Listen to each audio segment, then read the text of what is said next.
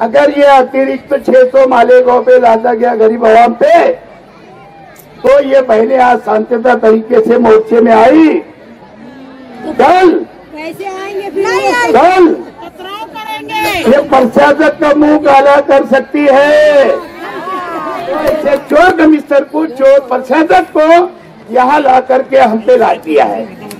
Commission चोर प्रशासक है ये। और ये सब जिम्मेदार इसको यहाँ पे ला के बैठाने वाला, ये मालेगांव आउटर का, ये महाराष्ट्र का मंत्री दादा भुसे इसका जवाबदार है। ये दादा भुसे इसका जवाबदार है। माँ बहने जुम्मे के दिन बाज़ार करने जाती ना बहने सब। माँ बाप के वहाँ, ये एक तो ऐसा ही है। ये एक दिन पहले जुमेरात को आ जाता, सब वसूली कर लेता, कमीशन ले लेता। और जुम्मे को भाग जाता। ये भगोड़ा प्रशासन है भगोड़ा। उनका तो रिकॉर्ड है महाराष्ट्र गवर्नमेंट में। जब कृषि मंत्री थे ना। तो कमीशन मंत्री बोलते थे। उनको कारपोरेशन भी पड़ती नहीं प्रांत कार्यालय भी पड़ता नहीं तहसीलदार भी पड़ता नहीं। हर जगह उनको भी कमीशन वो मेरे नौजवान साथी बुज़ुर्ग हजरात और तमाम मेरी माँ और बहने मैं सबसे पहले हजरात के अलावा मेरी माँ बहनों का बहुत शुक्रिया अदा करता हूँ कि इतनी धूप में आप लोग इस मोर्चे को कामयाब बनाए। क्या हुआ? ये सिर्फ़ और सिर्फ़ ये आप लोगों की मेहनत का नतीजा है बहनों का। यहाँ बहने बोलने वाली, भाषण करने वाली बहुत बहनें हैं। पहले अकेले पायरा बोलते थे। अब कई बहनों का इजाफा हो गया है। अभी इलेक्शन आएगा जब आप लोग इनको सुनते रहना। बहरहाल, ये असल में महाराष्ट्र के अंदर मालेगांव का खाली विषय नहीं है। महाराष्ट्र के तमाम शहरों का तमाम शहरों का विषय है। नगर परिषद, नगर पंचायत, ग्राम पंचायत नगर पालिका महानगर पालिका ऐसे तमाम छोटी बड़ी नगर पालिका महानगर पालिका में ये महाराष्ट्र गवर्नमेंट ने, जो घन कचरा पूरे महाराष्ट्र में, पूरे देश में जो चल रहा है जो घंटा गाड़ी घर घर आकर के कचरा उठा रही है, इसका पैसा आज तक केंद्र सरकार देती थी। लेकिन सबका साथ, सबका विकास वाले हमारे मोदी जी प्राइम मिनिस्टर पूरे लोगों को एड़ा बना रहे देश में। और ये उनके ही आदेश पे, ये बीजेपी गवर्नमेंट, बीजेपी की गवर्नमेंट के आदेश पे और आज महाराष्ट्र के अंदर हिंदुत्ववादी सरकार है। इन्होंने ये आज अतिरिक्त टैक्स अपन बोलेंगे जो हमारी घर पट्टी किसी को सौ आती, किसी को दो सौ आती, किसी को डेढ़ सौ आती किसके आरसीसी बिल्डिंग है तो हज़ार आती होगी। लेकिन उससे हट के अलग से छह सौ रुपया हर घर से खाली मालेगांव में नहीं। ये पूरे महाराष्ट्र में वसूलने वाले हैं। और इसका विरोध आज हमने आपने मिलकर के यहाँ पे विरोध जताया। अगर ये हमारी घर पट्टी के अलावा अगर छह सौ रुपया अगर इन्होंने ज़्यादा लगाया तो हमको खाली घर पट्टी भरना है। वो छह सौ रुपया हम कतई भरेंगे नहीं। क्या करेंगे? नहीं भरेंगे। और यही विरोध जताने के लिए हम यहाँ पर आए हैं। अब ये प्रशासक साहब जो है, ये इलेक्शन क्यों लेट हुए मालूम है? तो पूरे महाराष्ट्र में जानबूझ करके बीजेपी गवर्नमेंट ने इलेक्शन को लेट किया। ताकि ऐसे अजाफाई टैक्स जितने भी है, ऐसे वो लागू कर सके। अगर मालेगांव प्रशासक ने, जो कल के आयुक्त थे, आज के प्रशासक है ये कल भी कारपोरेशन में वक्त नहीं देते थे। जब बॉडी थी जब भी। और आज भी ये वक्त नहीं देते।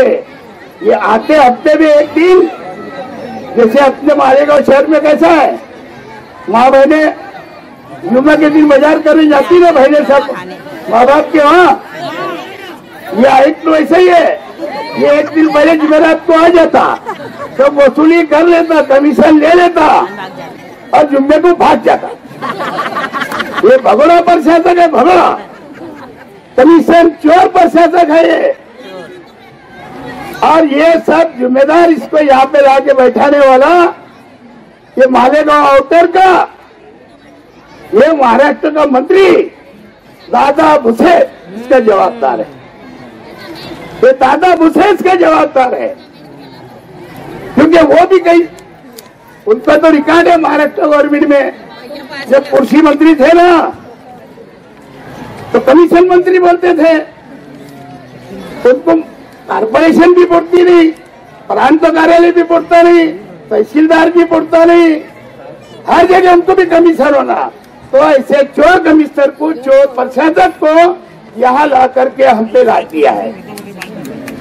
तो बहनों, आगे अगर इन्होंने हम पे ये ज़बरदस्ती का 600 टैक्स लगाए तो आज ये भगोड़ा कमिश्नर यहाँ है नहीं। आज यह अतिरिक्त तो आयुक्त तो है। कई उपायुक्त तो है, एक उपायुक्त तो बहन है। मैं उनसे बताना चाहता हूँ, अगर ये अतिरिक्त 600 मालेगांव पे लादा गया गरीब आवाम पे तो ये बहनें आज शांतता तरीके से मोर्चे में आई कल कैसे आएँगे फिर नहीं आएँगे कल ये प्रशासक का मुँह काला कर सकती है। ये प्रशासक का मुँह काला कर सकती है ना? हम डराते नहीं। हम बोलते नहीं। हम करके दिखाते हैं। है ना? तो बहरहाल ये कोई हम यहाँ पे सियासत और राजकारण करने नहीं आए। ये यहाँ पे जो अलग से बोझा मालेगांव गरीब आवाम पे लगाया जाने वाला था, ये खबर मुझे लग गई। ये खबर मुझे लग गई।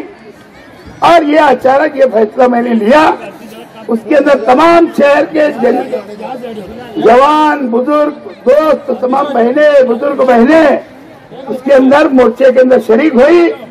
मैं आसिफ भाई की ओर से, मेरी ओर से मेरी अहिलिया ताहिरा शेख की ओर से हमारी राष्ट्रवादी कांग्रेस पार्टी के सब पदाधिकारियों की ओर से सभी लोग का बहुत बहुत शुक्रिया अदा करता हूँ शेख रशीद साहब आगे बढ़ो तुम्हारे साथ है शेख रशीद साहब आगे बढ़ो तुम्हारे साथ आगे बढ़ो तुम्हारे साथ है आगे बढ़ो शेख आसिफ आगे बढ़ो तुम्हारे साथ शेख आसिफ आगे बढ़ो तुम्हारे साथ है अब आप लोगों के सामने हमारे चार अपने ख्याल का इजहार करेंगे। जोरदार तालियों से इस्तेमाल कीजिए।